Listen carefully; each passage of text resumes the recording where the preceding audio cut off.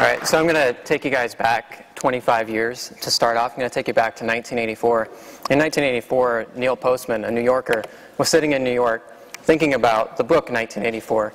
And he started to think that the Orwellian vision had not come true in the United States, but the Huxleyan version maybe had. The Orwellian version was this vision in which you know the big brother state control had basically taken, taken over everything. The Huxleyan version was one in which we had basically amused ourselves to death.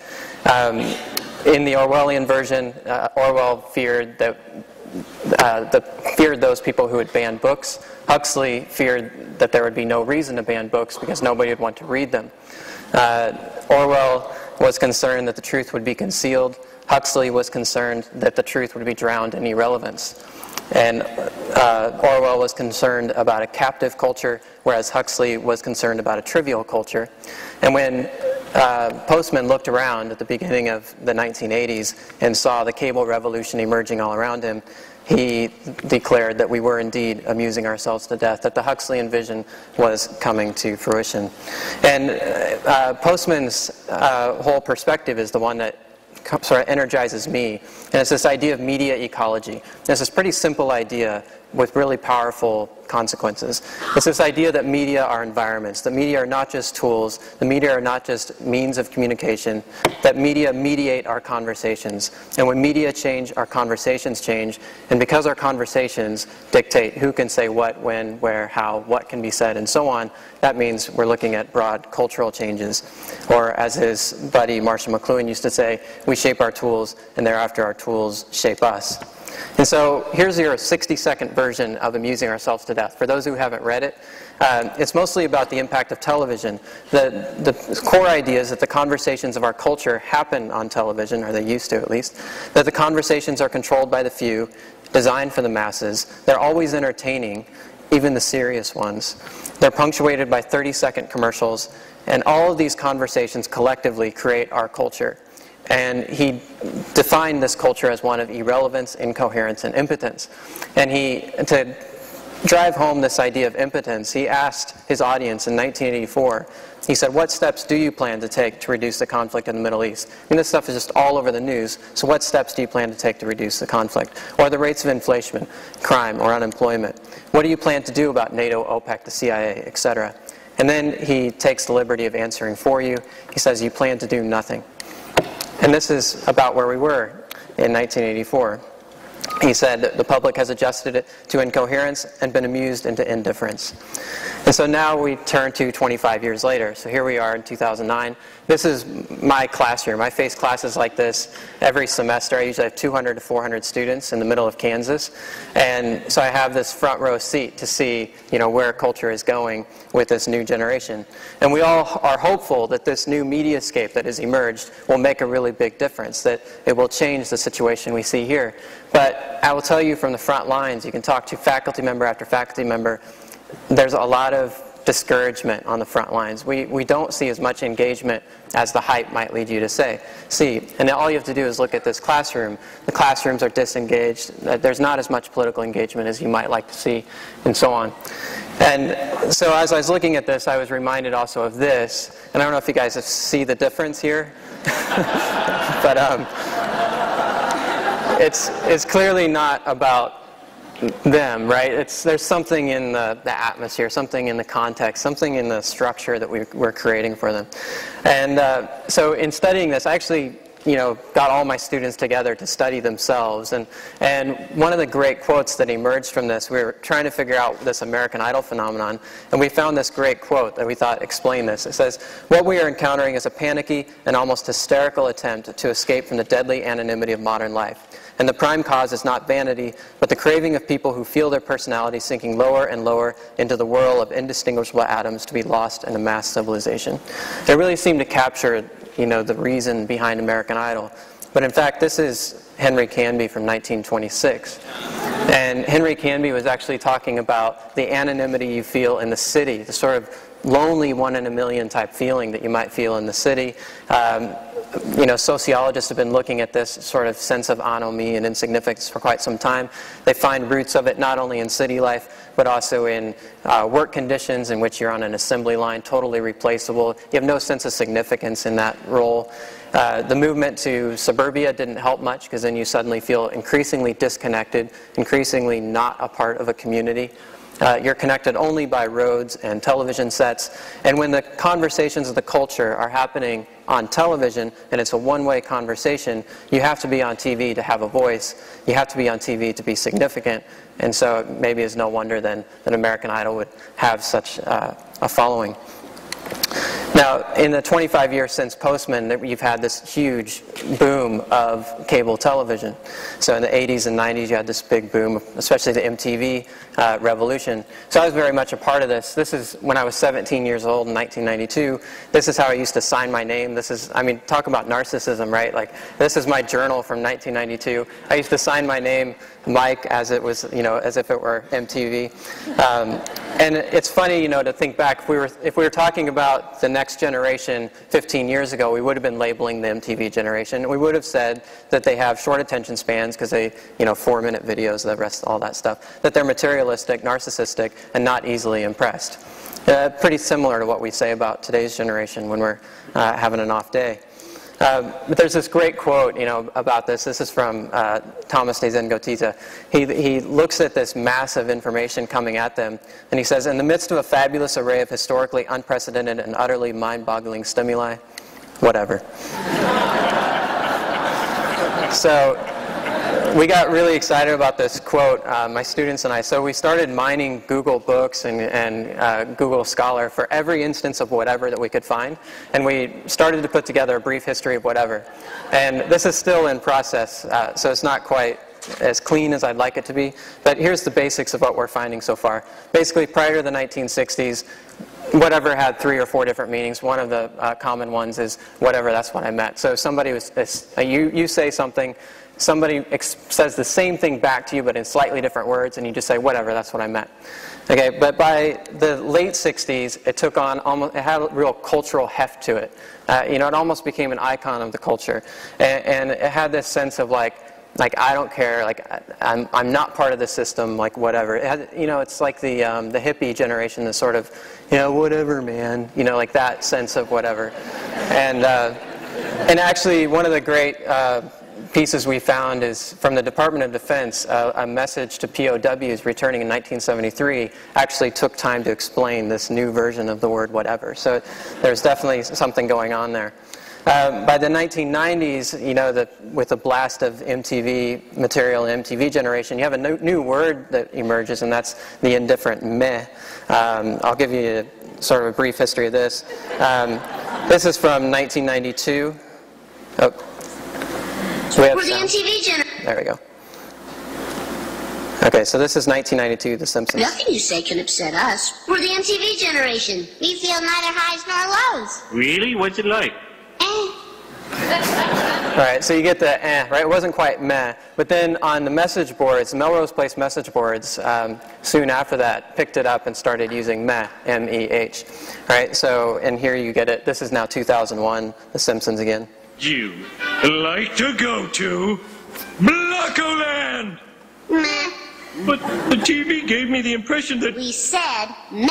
M-E-H. Meh. So this is also, uh, you know, back on 1992. This is the rock anthem of the year uh, from Nirvana. I find it hard. It's hard to find. Oh well, whatever. Never mind. Um, the same song. I feel stupid and contagious. Here we are now. Entertain us. This, uh, these lyrics are often repeated in the halls, uh, hallways as faculty complain about this. Um, and yet, 1992 was also the era of reality TV. Reality TV was launched basically in the U.S. in 1992 with The Real World and a number of other shows that soon followed, all the way to American Idol. And the question that emerges in this context is basically why all these people, I don't know if you ever watched the American Idol tryouts, is why all these people not only do they want to be stars, but why do they all think that they deserve to be stars? I mean, you've heard these people sing, right? It's a pretty shocking thing. So this became another little aspect that we were trying to explain. And there's a lot of theories out about it. One of them is that this is the generation raised by the self-help generation. So the 70s, you know, I'm okay, you're okay stuff. Those are now the parents of this next generation that become extremely self-focused, extremely confident, and so on. But uh, Thomas de Zengotita has yet another interesting theory here he suggests that all of this media is produced by the most creative people on the planet, armed with billions of dollars, and they create all of this stuff just for you, just for each and every one of us. And that's ultimately very flattering. And so he says part of the narcissism that we see in this generation comes about through that. Now, there is actually a new uh, version of whatever that's emerged in this context, and I'll play a clip here that expresses this. This is from South Park. And now back to more kids who are out of control on the Mary Poppins Show. Our next mother is Liane Cartman. Her son claims to be the most out of control kid in the world and says there's nothing his stupid mom can do about it. Let's bring him out. Here's Eric Cartman. Whatever, whatever. I'll do what I want. So by the late 90s to the present, you get this whatever, I'll do what I want. It's got this real narcissistic edge to it, like I'm the most important person on the planet. The young female version is the whatever, you know, and you get this sort of narcissistic sort of side to these things. So Jean Twenge actually set out to get the stats on all this stuff, and it's a pretty thorough study that she put forth in Generation Me. You can see it's subtitled Why Today's Young Americans Are More Confident, Assertive, Entitled, and more miserable than ever before. The reason why they're miserable is because they think they're the next American Idol, and then when they're not, they're shocked. And this narcissism is actually pretty prevalent. You see it all around us. I don't.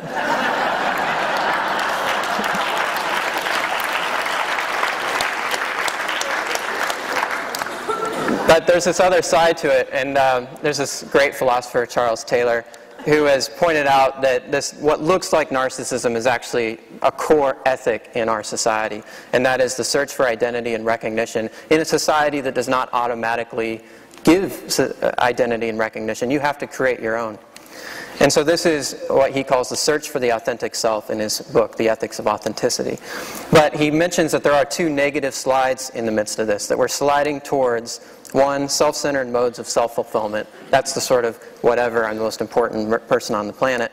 And secondly, a negation of all horizons of significance, meaning that we're sharing less and less systems of meaning. Like we don't actually share a lot of our meanings uh, because each one of us is pursuing our own authentic self in our own way. And politically, what this leads to is first off, the first uh, element leads to disengagement. People more and more so focused on themselves rather than on civic engagement. The second one leads to increasingly uh, fragmentation. And fragmentation, when multiple people believe in multiple different things and have multiple different issues, ultimately leads to a politics of special interest uh, sound bites. Now, where does this take us? So it would be hopeful that maybe this could change the game a little bit. And certainly we know that this matters for many different reasons, many of the reasons that everybody's already mentioned. So I'm just going to go through this real fast. It's not controlled by the few. It's not one way. It's created by, for, and around networks, not masses. It transforms individual pursuits into collective actions, and it makes group formation ridiculously easy, so much so that it's almost like they're not even groups. They're more like flocks and swarms, whatever metaphor you might want to grab. But I also want to approach this question, and, it's, and I don't have an answer for it, I just have a question. I'm going to spend the next 20 minutes or so analyzing this and basically bringing up more questions, not necessarily answers. But I want to talk about why this might deeply matter. And that it's based on a few philosophical principles. The first one is that we know ourselves through our relations with others. That is, you, you come to know yourself through your conversations with others and so on, and, and what they reflect back to you. New media create new ways of relating to, it, to others, and therefore it follows then that new media would create new ways of knowing ourselves. And therefore, new media might be creating new ways of knowing our authentic self. It might be changing the search for the authentic self. It might be changing the very notion of what it is to be authentic. It might be changing the very notion of what it is to be a self. Those are very deep and big questions that I can't answer in the next 20 minutes, but I'm going to at least show you what we're up to in the exploration of this. So uh, what we do, um, I actually grab a handful of students every semester, and we just dive into this little world of you know Web 2.0 social media stuff. And for the last two and a half years or so, we've taken as our locus of interest uh, YouTube. Now, YouTube is itself way too big to study all on its own. I mean, they just released this figure that they say 20 hours of videos uploaded every minute. And if you do the math on this, that's over 1.7 million minutes per day. That's over a thousand times faster than you can watch. It's almost 500,000 videos a day, and that's just on YouTube. And if you recognize that YouTube uh, has about a uh, somewhere between a 43 and uh, percent market share, maybe up to 63 percent. It may be as many as mil- 1 million online videos uploaded per day. So it's pretty intense, you know, to think about how you study this phenomenon. But I do want to mention, this is a very important statistic, that over 99.9% is irrelevant to you. Um, I actually, when I looked over my numbers last night, I recognized this is a very low estimate.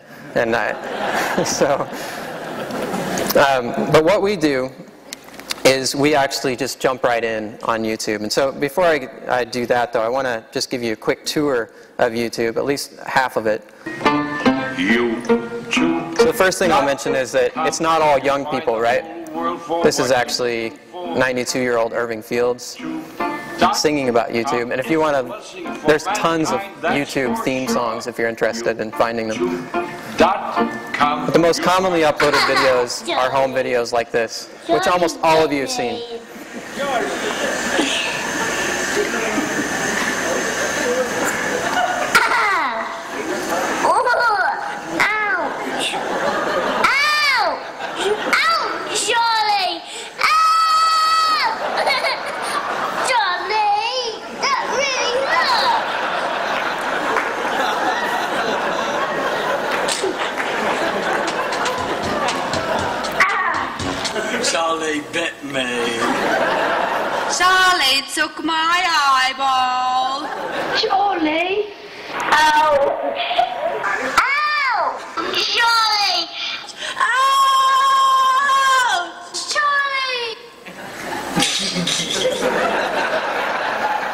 And so this is what uh, Andrew is talking about. There's like a new language going on here. And, and with drag and drop editing, people can get really sophisticated with this. So this is like the hip hop version of Charlie Bit My Finger.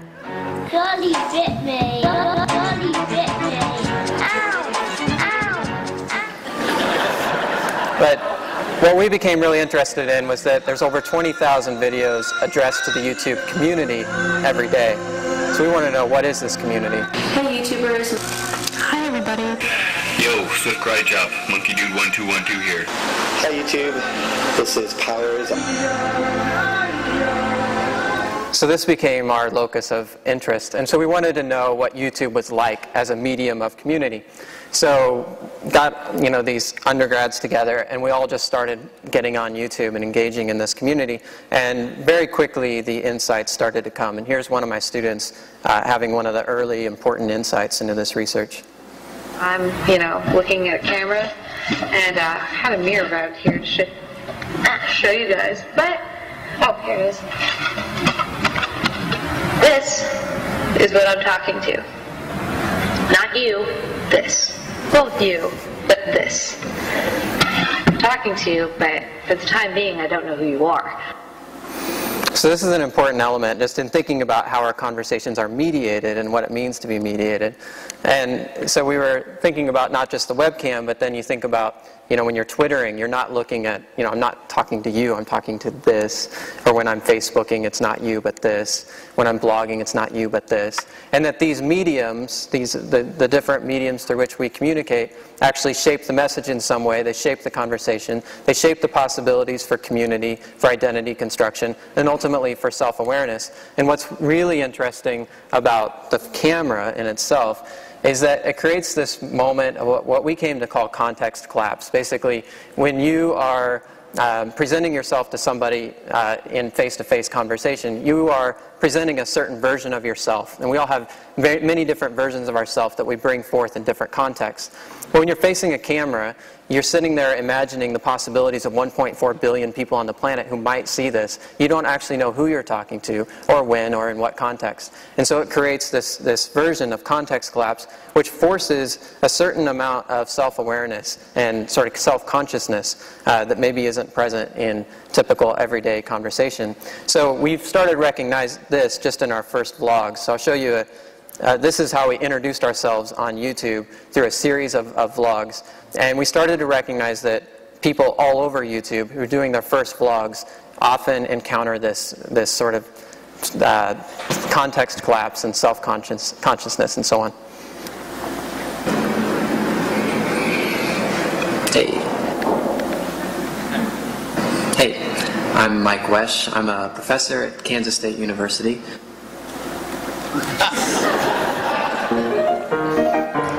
Hi.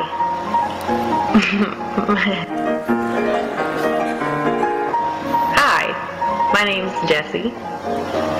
And I feel like I should put a picture of a person right here.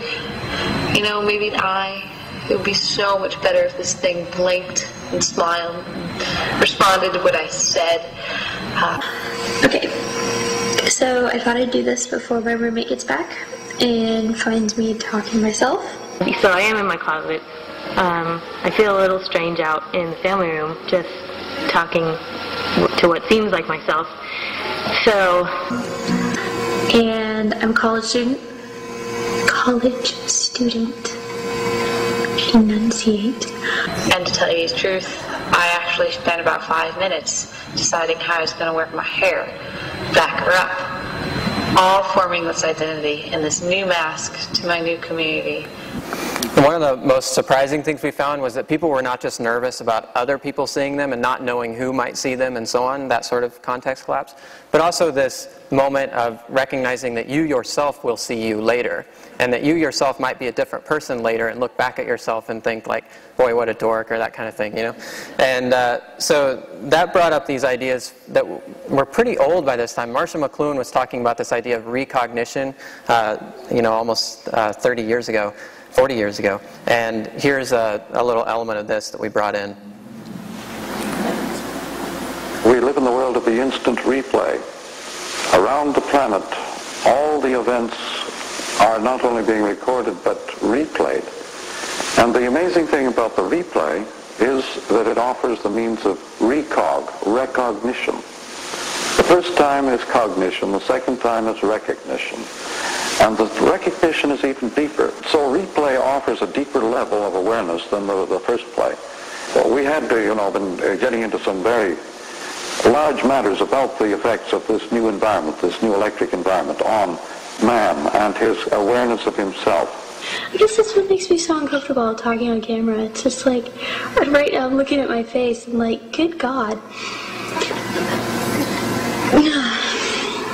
Because when I think of myself, I guess I don't really think of myself the way I appear to other people.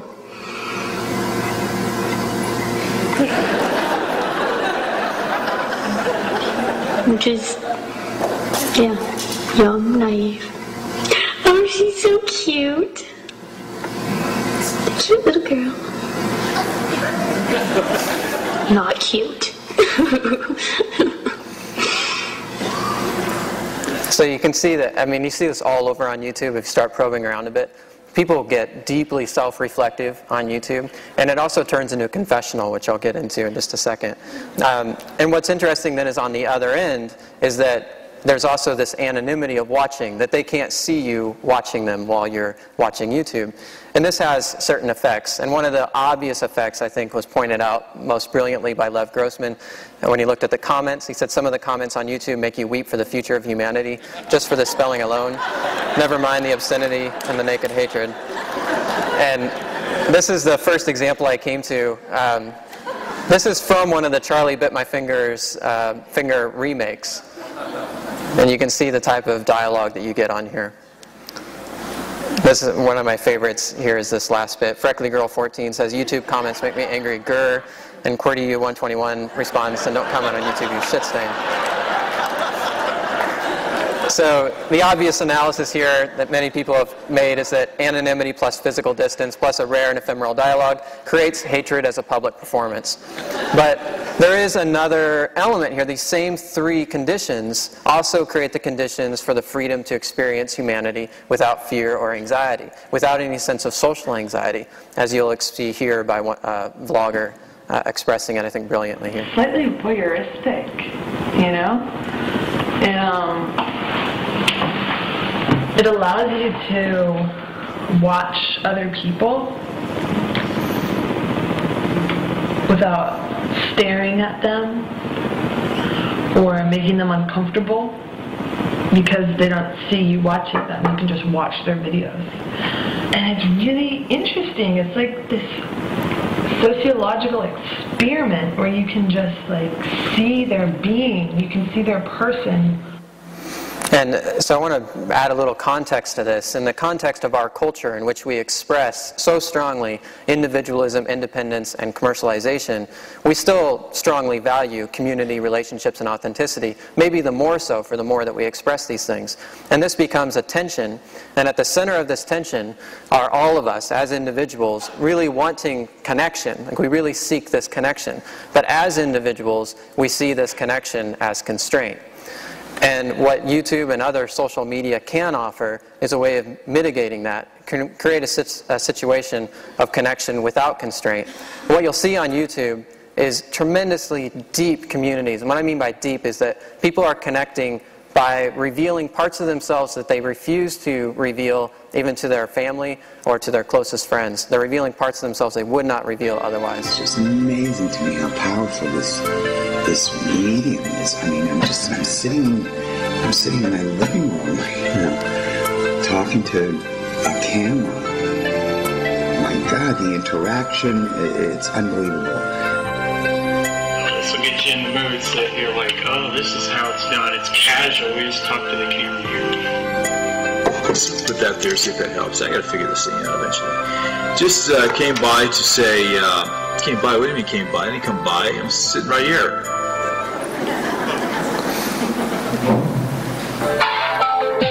January is a hard month for me. Right now, I should be preparing for my the birth of my son, Zachary as you guys already know. Hi, Mel. I watched your video, and uh, sorry I'm running behind on my schedule here. I was listening to it, and I felt my tears coming. This is a big fucking experiment in putting myself out. We're all learning from each other and about ourselves. And that's what I think fucking YouTube should be about. Thank you guys. So in the midst of this, a hero emerges, and I think this is one of the great early heroes of YouTube. Um, I think it's indicative. This is actually five years ago today. This guy who goes by the name Juan Mann, this sort of anonymous hero, steps out looking for a hug. You know, he's one of these millions of people who feels too anonymous, too insignificant, and too disconnected and was just looking for somebody to hug. So he goes out into the mall and starts to find people willing to connect with him. And this is such a becomes such a powerful message. It starts to spread. Other people take up the signs. And it's just like this moving thing because it's it's all these anonymous strangers connecting, and it, it gets a lot of play on YouTube, over 45 million hits, and then it goes global from there. There's over 20,000 videos on YouTube related to this, and they're from all over the world.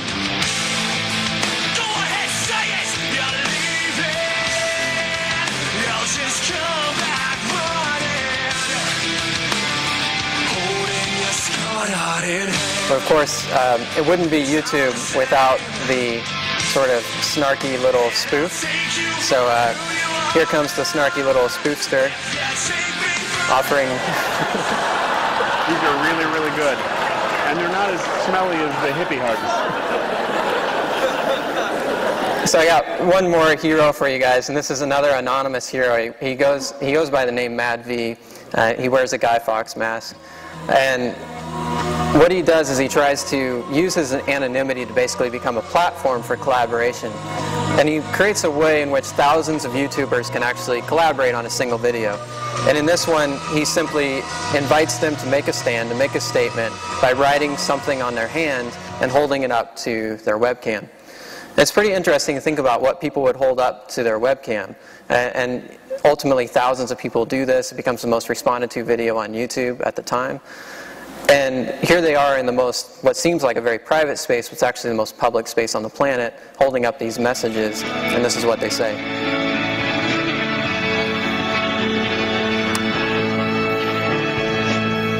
So they send messages of loving yourself, uh, loving others. They do it in a way that it's clear they speak a new form of language. They all speak video.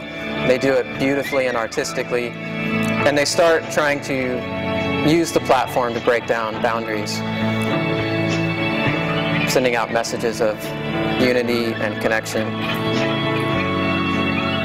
But I think it's important to note, in light of Dana's talk yesterday, that these are not statements of fact, and it would be tragic optimism to view these as statements of fact. They wouldn't state these things if they felt like they already existed. Instead, these are not statements of fact, but these are ultimately calls to action.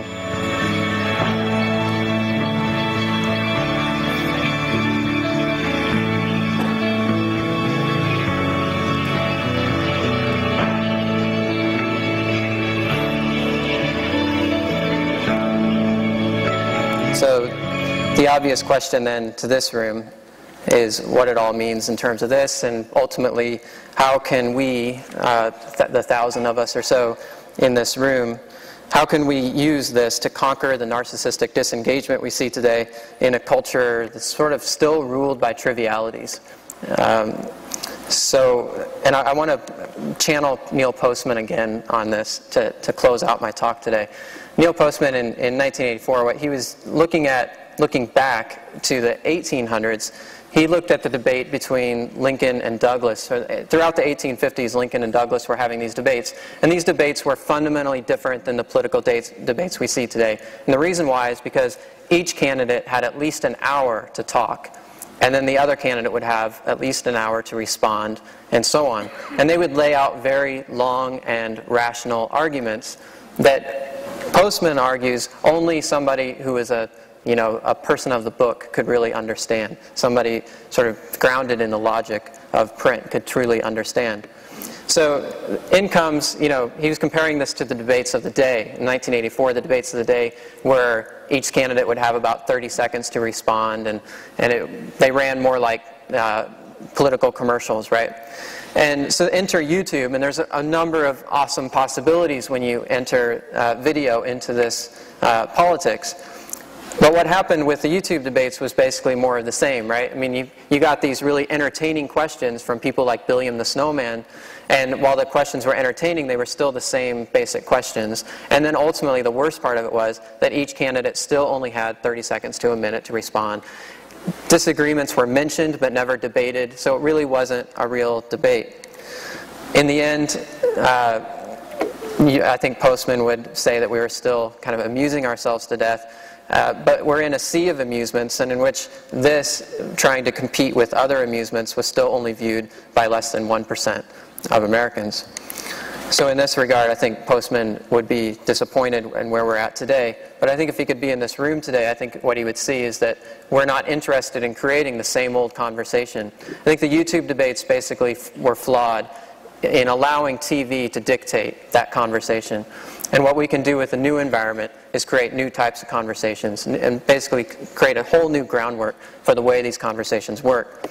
And I'll leave you with this idea that maybe by doing this, we can work towards a new future of whatever. And we'll move from the 60s of the I don't care, whatever you think, and from away from the 90s, whatever, I don't care what you think, and we'll end up with a future in which we can say, I care. Let's do whatever it takes by whatever means necessary. Thanks.